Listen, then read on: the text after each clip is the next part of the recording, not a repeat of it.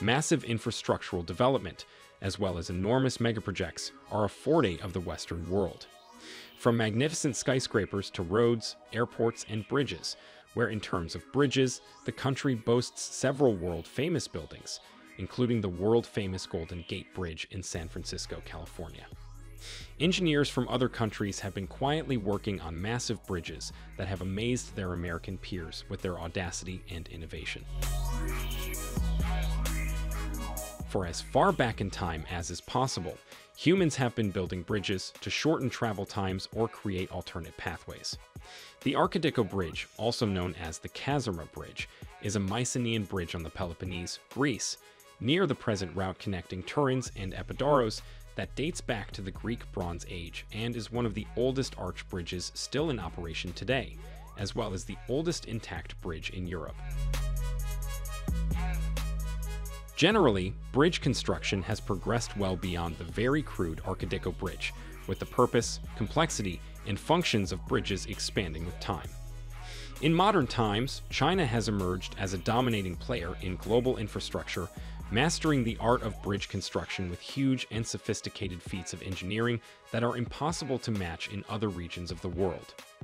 Today's video shows some of the gigantic Chinese bridges whose engineering baffles American engineers. As always, please like, subscribe, and leave a comment in the space below. The first bridge is the Kishui River Bridge, which rises 350 meters above the water which was facilitated because local officials sought to build a new bridge connecting the Guizhou-Jiangzhaigu and Sichuan-Zhuge expressways in China to enhance economic development and offer a reliable connection between the two routes. The $253 million Kishui River Bridge spans 2,009 meters across the river. Sichuan Road and Bridge is in charge of the project's design, production, and construction.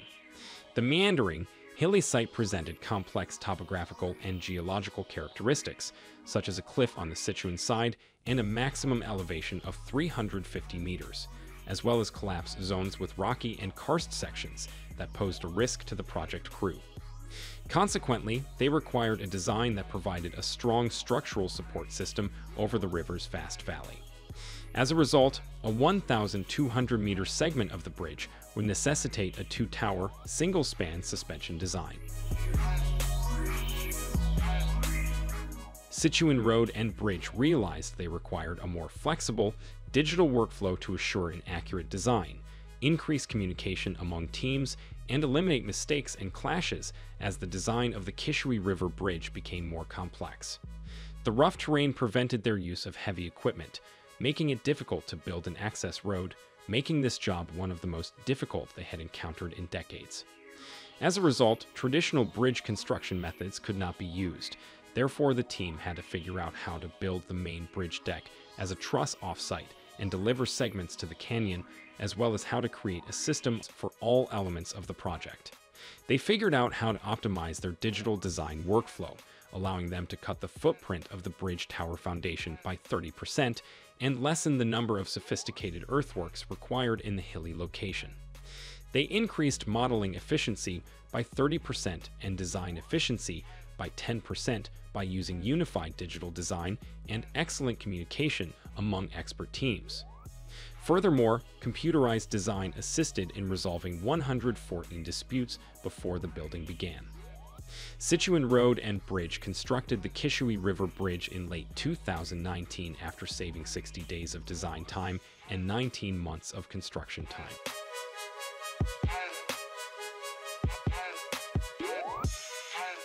Engineers in China are constructing a colossal bridge on two cliff faces to connect a distant river valley to the rest of the country.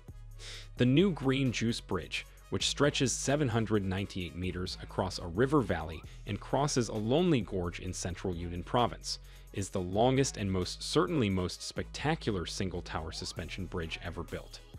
The distance from the tower to the mountain anchorage is 780 meters, breaking the previous single tower record of 766 meters held by the Jinshajiang Hushe Axia Highway Bridge.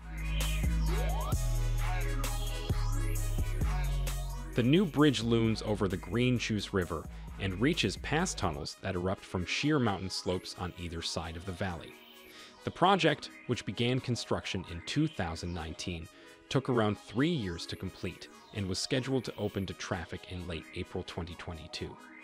China opened the new Green Juice Bridge over the Yangtze River on October 31, 2021, connecting the district of Chongming to metropolitan Shanghai in about an hour's drive, clearing the path for rapid development. The district alone has a surface area that is half that of Singapore. The new bridge's complexity has already earned its recognition as an industrial design marvel. The magnificent vista surrounding the massive concrete infrastructure, as well as its imposing presence, and its incredible three-year construction span has earned Green Juice Bridge the title of engineering marvel. The bridge is sustained at both ends by cables and is only supported by one tower. There are no other columns, giving it a stunning, gravity-defying appearance. The road project in China is being developed as the world's first one-tower and single-span connecting state viaduct. The bridge will significantly reduce travel time between Yuxi City and Yunnan's Chuxiong Yi Autonomous Prefecture. Both Yuxi City and Chuxiong have unique characteristics despite not being major tourist sites. The former is well known for tobacco manufacturing, while the latter is well known for its dinosaur museum. The new bridge connection will connect two areas in the heart of Yunnan province to important cities such as Kunming and Dali. The new Green Juice Bridge falls under the broad umbrella of China's Belt and Road Initiative.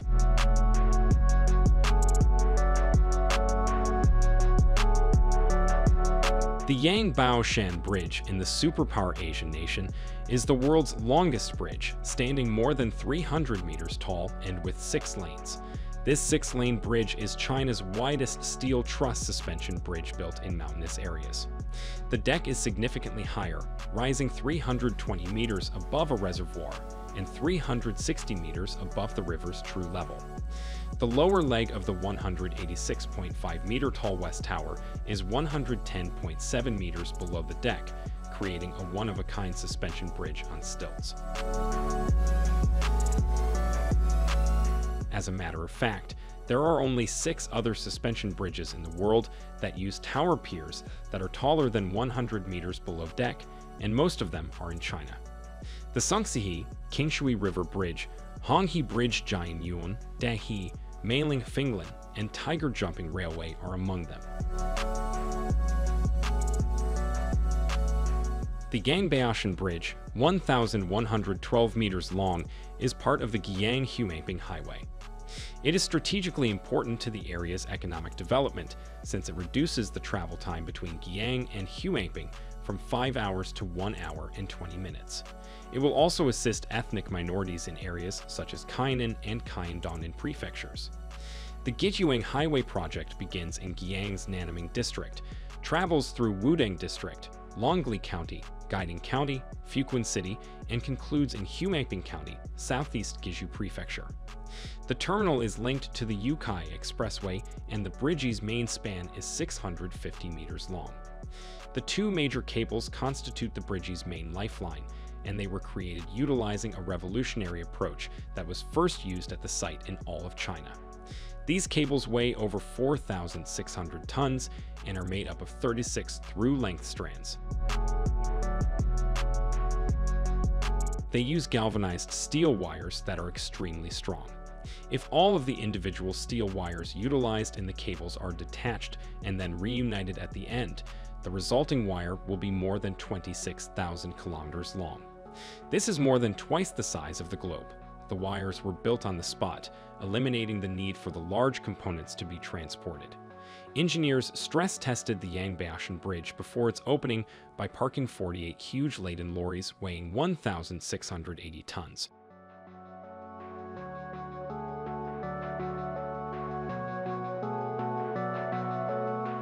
The Hong Kong Zhuhai Macau Bridge, the world's longest sea crossing bridge tunnel system, is the next Chinese mega bridge.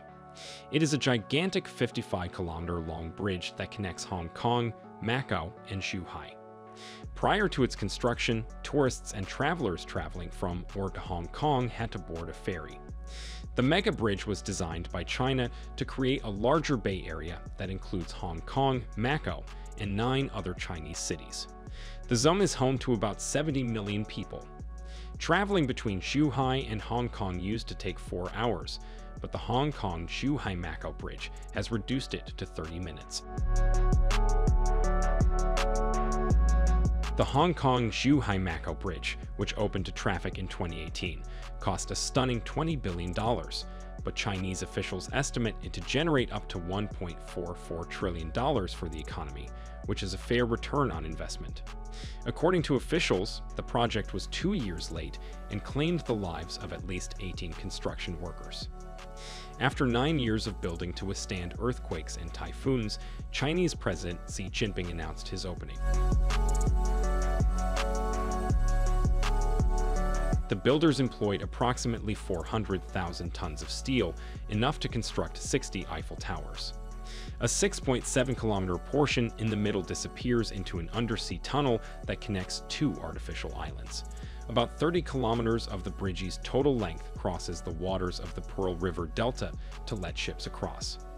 The remaining sections are connection roads, fire ducts, and land tunnels that connect Hong Kong's Zhuhai to the main bridge. The bridge requires ongoing maintenance, and the government anticipates spending over $30 million each year to keep it in pristine condition. The Hong Kong Zhuhai Macau Bridge is amazing, but not everyone can drive over it. To use the bridge, you must first obtain a special permit, which officials distribute through a quota system. Even after receiving the valuable permit, you must still pay a toll because the bridge is not allowed for public transportation. Only private shuttle buses will travel the route. There will be no train link, and if you ever drive on the bridge, be aware that there are yawn cams waiting to catch drivers yawning. In fact, if you yawn three times in a row, local authorities will be notified, so make sure you're rested before attempting to cross.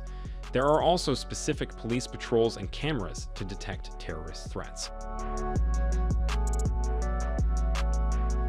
Furthermore, because drivers in China and Hong Kong drive on opposite sides of the road, there are special merging channels that allow drivers to switch lanes. Authorities initially estimated that 9,200 vehicles would cross the bridge every day, but their projection was reduced when new transportation networks were built in the region. If you enjoyed this video, make sure to watch the next video on your screen, which looks into the most useless megaprojects in the world. As always, make sure to give our video a like and subscribe to our channel for more exciting videos.